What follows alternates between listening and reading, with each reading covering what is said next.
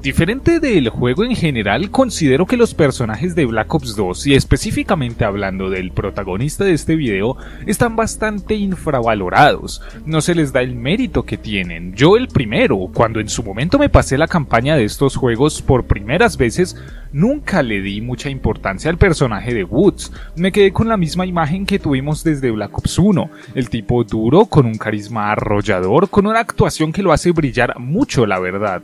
Pero no pasa de eso, un tipo arrollador y con carisma, que tiene una falsa muerte muy interesante y para terminar de marcar esta impresión, pues vino Cold War con esta misma personalidad, fuerte, dominante. Sí, se le ve algo más consciente, pero nunca me terminó de convencer. Siempre lo sentí como un Capitán Price descafeinado o como un Ghost con carisma. La cosa es que cuando somos pequeños no alcanzamos a dimensionar algunas cosas como la profunda historia que tiene este personaje y que nos quiere transmitir, que si bien no es nada revolucionario y tampoco novedoso, sí que funciona muy pero que muy bien como un personaje principal de Call of Duty. Para empezar, remontémonos un poco a Black Ops 1. Aquí nos presentaron a Frank Woods, Mason y el equipo en general, y nos los muestran como la élite de la élite, pero a diferencia de la fuerza operativa, Woods y Mason desde el inicio rebosan personalidad.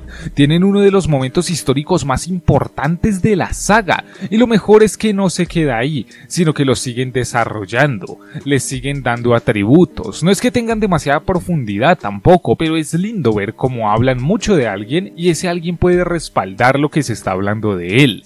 Y claro, Woods protagoniza uno de los mejores momentos chocantes del juego, su muerte, la cual es muy impactante de decir, generó un impacto brutal. Para este punto ya considerábamos a Woods nuestro hermano en armas, y que se fuera de esa forma, sacrificándose por nosotros para que pudiéramos continuar, es algo sin duda épico. Luego llega algo convulso, porque si revisamos bien la historia, no tenemos idea de qué pasó con Woods entre Black Ops 1 y Black Ops 2, no entendemos en qué punto resultó que había sobrevivido, nos lo muestran muy de repente y sin mayor explicación lógica, la verdad, porque ya me dirás tú qué sentido tiene que tanto Woods como Kravchenko hayan sobrevivido a tremenda explosión. Pero el caso es que sí, Woods sobrevivió y aquí empieza lo mejor del personaje. Por una razón que explicaré en otro video, Woods cae capturado en Vietnam otra vez, donde pierde a todos los hombres con los que iba, siendo sometido a una tortura tremenda. Ya sabemos cómo son las cosas allí, cómo maltratan a los prisioneros, y aún así logró escapar. La cosa es que cayó capturado nuevamente, esta vez por Raúl Menéndez y su cartel, un traficante nicaragüense quien se encargó de nuevamente acabar con todos sus hombres enfrente de él, solo dejándolo vivo para torturarlo y saber qué información tenía la CIA sobre él, torturándolo y torturándolo hasta que se rompiera y le dijera todo. Woods quedó con fuertes traumas a raíz de esto y viviría ese infierno en la Tierra quién sabe durante cuánto tiempo, hasta que por fin fue rescatado por sus buenos amigos Mason y Hudson, pero esto no quiere decir que volviera a ser el mismo. Sí, da señas que dentro de ese saco de piel y huesos sigue existiendo el fiero espíritu combativo del legendario sargento Woods. Logró que su alma y su cuerpo, sobre todo su cuerpo, se recuperaran de lo sucedido. Incluso cumplió misiones con Mason, donde lo vimos como siempre, tomando las decisiones correctas, con la mente fría y siempre pensante pero también con su fuego interno, siempre apoyando a Mason, pero es más adelante donde vemos el inicio del fin para este personaje. En la misión Tiempo y Destino vemos a Woods especialmente inquieto por acabar con Menéndez. Nos lo demuestra en varias ocasiones, tiene muchas ansias por tener a ese cabrón entre sus manos. Mason y Hudson no son tontos, claro que lo notan, pero es poco lo que pueden hacer en el momento. Cuando Mason y Woods finalmente interceptan a Menéndez, Woods pierde la cabeza, dejó de pensar, se dejó dominar por el odio, por la ira, por el sufrimiento que este bastardo le causó. Entonces forcejeó y le arrojó una granada, granada que terminó por estallar en la habitación de Josefina, la hermana de Menéndez, y así asesinándola. Wood se tomó la venganza por mano propia, pero no midió el peso de sus acciones. Sí, es verdad que Menéndez le causó mucho daño, pero lo que le hizo él a Raúl no tiene comparación. Le quitó todo lo que tenía en el mundo, la única razón que tenía Menéndez para vivir desde que era apenas un niño. Woods y su arranque de ira se lo arrebataron todo a Menéndez, y Woods debería saberlo por experiencia propia. No hay hombre más peligroso que el que no tiene nada que perder. Entonces Menéndez empezó a tejer una nueva red en la que incluiría nuevos aliados que lo ayudarían a culminar su venganza. Empezó por dejarse ver, la CIA y todo el mundo creían que había muerto en la explosión, pero no fue así. Y qué mejor manera de llamar su atención que demostrándoles que no era cierto. Mason, Woods y Hudson serían nuevamente asignados a una misión, esta vez encubierta, con el fin de acabar con el dictador panameño Manuel Noriega, pero que después se tornaría en una orden de asesinato hacia Menéndez, sin saber que estaban siendo conducidos hacia una trampa. El primer paso de Menéndez fue capturar a Hudson, quien siempre dirigía las actividades del equipo, así que capturándolo y amenazándolo de la forma correcta sería muy fácil manipular a los otros dos. Luego tenía que separarlos, eran muy fuertes y no podría vencerlos a los dos al mismo tiempo. Además, no quería tener una batalla justa, simplemente quería extender el sufrimiento de Woods al máximo. Después de todo, su cruzada era contra Frank. Es verdad que Mason le disparó a la cara, sí, pero en realidad Menéndez no tenía nada personal contra él y contra Hudson menos. Pero Woods, ese cabrón le quitó las ganas de vivir y tenía que pagar por ello. Así que, separándolo de Mason, podría terminar de poner los clavos en el ataúd. El cabrón utilizó a Woods para que le disparara un señuelo de Meréndez, quien no resultó ser nadie menos que el propio Alex Mason. Woods acababa de asesinar a su mejor amigo. Había sido traicionado y quería venganza, pero Menéndez, implacable como el mismo karma, hizo aparición solamente para incapacitar a Woods, y esas heridas en sus rodillas no curarían pero aún así había trabajo por hacer.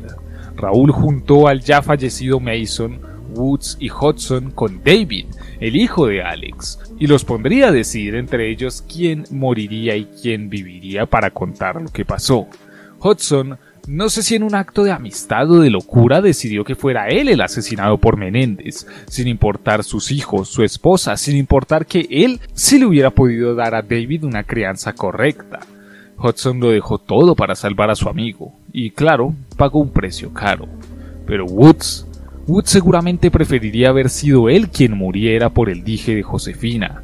Woods tuvo que ver cómo Menéndez traumatizaba a David Mason, mostrándole a su fallecido padre, con Hudson muerto por ahí y con la imagen de un Woods recién lisiado, algo que cualquier mente intentaría bloquear claramente.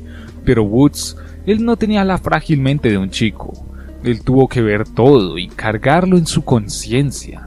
Alex Mason, su mejor amigo en todo el mundo, ya se ha muerto por su propia mano. Jason Hudson dio la vida por él, y David no es más que una simple víctima de sus malas decisiones, quien tenía que soportar el dolor de jamás tener a su padre de nuevo. Todo por culpa de Woods. Por eso es normal que durante esta campaña Woods parezca una cebolla. Es como si en ocasiones escondiera su infinito sufrimiento bajo la máscara del tipo duro y gracioso, pero en realidad Frank Woods es un hombre muerto por dentro, es un hombre roto, quien tomó malas decisiones, arruinó la vida de un hombre por la furia y le pagaron con la misma moneda. Lo único bueno de todo esto es que David pudo aprender de los errores de sus antepasados y corregirlos. Cuando tuvo la oportunidad, domó su ira, no le permitió que lo dominara, y esta vez le dio una segunda oportunidad a un pobre viejo al que la vida y una granada mal lanzada destruyeron. Completó la misión de Mason y Woods y de cierta forma consiguió la redención de todos. Y si tenemos suerte y lo hicimos todo bien, tanto Woods como David obtendrían su recompensa. Mason revelaría que estuvo vivo todo este tiempo, solamente escondiéndose de Menéndez, y de cierta forma esto enmienda un poco el pasado, pero la verdad es que el tiempo perdido no se le será devuelto.